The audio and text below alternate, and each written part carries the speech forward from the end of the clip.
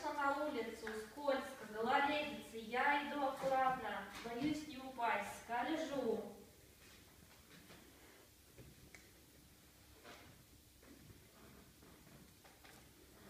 Я дошла до нужного места, а, мне позвонили и говорят, что надо срочно на работу быстро не опаздывать.